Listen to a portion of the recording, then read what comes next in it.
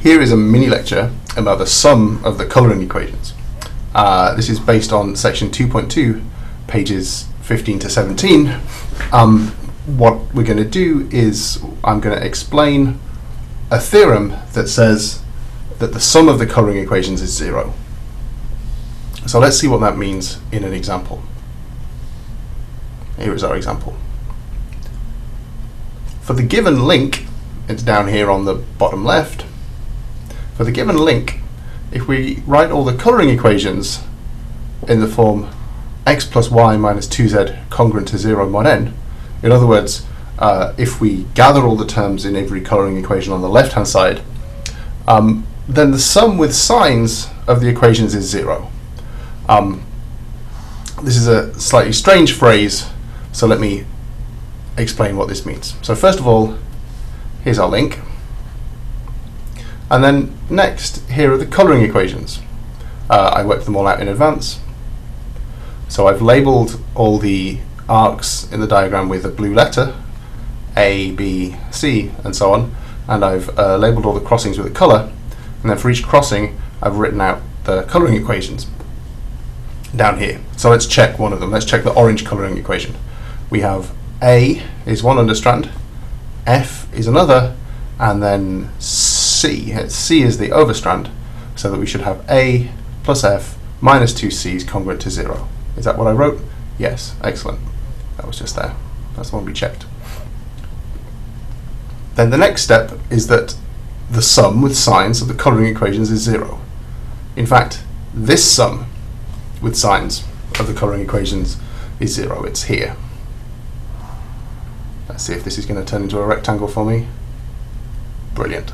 Um, so let's check that if I sum the colouring equations with these signs, in other words, if I take the green one plus the grey one minus the blue one minus the light green one and so on, then I get zero. Well, let's look how many A's there are in our colouring equations. Here's one. Here are some more. Ah, apparently my circle wasn't good enough. Let's try again. There we go. And here is one more. Is that it? Yeah, those are all the A's. And so the first A lives in the green equation, so it comes with sign plus 1.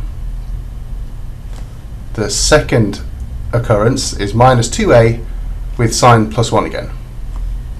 And the third equation is plus A, again with sign plus 1. So we get A minus 2A plus A. That's the contribution from the A's in the sum of the colouring equations. And indeed, uh, it does sum to 0. So that when we sum all the equations according to these signs, there won't be any A's left. Let's choose a different letter. Let's choose F. Um, well, I think I can only see two F's. Oh, let's choose a different colour for that. Uh, pink. Here's one F. Here's another. There are no more F's. And uh, if we check carefully, then we see that the orange and yellow equations have the opposite sign. So that when I sum them together, I'm going to get plus f from the orange equation minus f from the yellow equation. So that the f's will occur with uh, the, the f's in the sum of these equations will be zero. Okay, what does this mean? What is the point of this result? Um, let me write that as 4.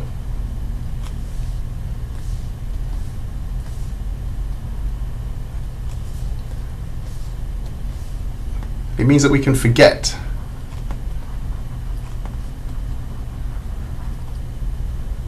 one of the colouring equations.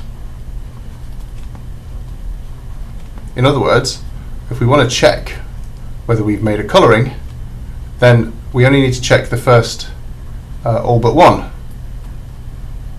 equations, then the last one would hold automatically because it's the sum of the uh, previous ones. So this is an important point for us. Now, it's a general theorem. Here we are. Theorem. The colouring equations for a link diagram sum to zero. So long as the signs have been chosen well. And what the theorem does is it works out the correct way to choose all the signs so that you do get a sum of zero. So here's how to choose the correct signs. Um, now, this isn't a proof of the theorem, however, this recipe and my explanation that I'm going to give you, um, I think, give you the idea of the proof. If you want to see the full proof, of course, go to the notes and see what they say. So step one that we have to perform is that we have to chessboard our diagram. What does that mean? That means I'm going to shade, uh, I'm going to, for every region of the diagram, for example, here's a region in between these arcs, here's another region down here, and also the outside is a region. For each region, I have to choose either to colour it in or not. Um, and I have to do that in such a way that if two regions are on either side of some arc, then only one of them is shaded in and the other is unshaded. Uh, and the way we chessboard a diagram is really simple. We just start. So pick one to shade in. There we go. There's a shaded region. Well, the next one, that's here, that's not going to be shaded in. So the next one, I just leap over and I just leap over an arc. This one must be shaded in because it's over an arc from one that wasn't. There we go. And then if I leap over this arc, I find a new region that has to be shaded in. Whoops, let's get rid of that. And if I leap over this arc, then I get another region, again has to be shaded in because it's over an arc from an unshaded region. I keep going. Now if I start here and leap over this arc, I have to be unshaded. So that if I leap again into this region, I must be shaded once more.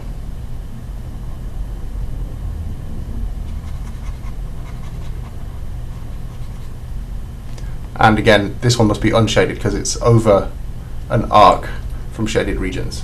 So I don't normally put anything in the unshaded regions, I, I leave it like that. So there's a chessboarding. So that was step one. Here's step two. I'm going to write my colouring equations according to the following rule. Well, each crossing now, there's going to be chessboarding there. And what I do is, um, if I if I see an arc or an end of an arc that's clockwise from a shaded region, I give it sign plus. And if it's anti-clockwise from a shaded region, I give it sign minus. So in the left-hand case, I get these signs. And in the right-hand case, I get these signs. So this is a norm this is a version of the coloring equations, right? It says that twice the overstrand, A plus A, minus the understrands, minus B minus C, is zero. And similarly on this side and you can check. Uh, you should pause it and check that I've written the uh, the labels that are clockwise from shaded regions with pluses and the ones that are anti-clockwise with minuses. And so now what I'm going to do is uh, we're going to write out the colouring equations in this case and check that they do sum to zero. And I am going to try to be clever and copy my chessboarding. Wish me luck, everybody. Is that acceptable? Let's say that's acceptable and continue. Um, okay. So what about the green crossing? That's here. Well, uh, this under label here, it's anti-clockwise from a grey region, so we have minus A. Uh, this D here, that's clockwise from a grey region, so we get plus D. Uh, this, the next label is this one, it's G, it's anti-clockwise from a grey region, so it's minus G. And the next one, this is D again, it's clockwise from a grey region, so it's plus D. Uh, then the grey crossing, we're going to have um, A is clockwise there. So it's A minus B plus A minus D congruent to zero. For blue, B is clockwise from a grey region, so it's going to be B minus C plus G minus C again, congruent to zero. Uh, for light green, that's here, uh, E is clockwise from a grey region. So we're going to have E minus D plus C minus D congruent to 0. Um, for the pink, uh, it's G, which is clockwise. So we're going to have G minus C plus G. Where are we? Pink. G minus C plus G minus E. Congruent to 0. For orange, we're going to have, uh, let's see, C is clockwise from the grey region. So we've got C minus A plus C minus F. It's congruent to 0. And finally, yellow, uh, we see that D is clockwise from a grey region. So D minus G plus F minus G, congruent to 0. Okay, I hope I got that right. Let's check that the sum of the equations is indeed 0. Well, let's look for the a's. We've got minus 1, plus 1. That gives us 0 a's. That gives us plus 1 a's. And here's the last one, minus 1a. So the a's are fine. Let's pick a different letter, minus g. Whoops, my circle wasn't good enough. Minus g, plus g, plus g, minus g, plus another g, minus another g. So we've got minus 2, 0, 0. Now, here's the last step. Why is this working? Um, well, let's get rid of all my little circles.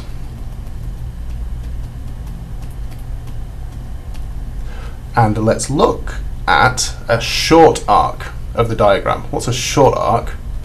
It's um, it's the bit of an arc from an overcrossing to an undercrossing, like this. Right here. There's a short arc. Now, what's the label on this short arc? Well, it's D. There's D round there. And where does this short arc get involved? Well, it gets involved at the green crossing. And in fact, there's our D. And it gets involved at the grey crossing. And in fact, there's our D again. That was rubbish. Let's get rid of that. Let's just put a dot underneath the D's. There we go. Um, and you see these D's occur with different signs, right? So they cancel each other out. And why do they occur with different signs? Well, here at the green crossing, you see that the blue short arc is clockwise from the sh shaded region, so it occurs with sign plus one. There it is.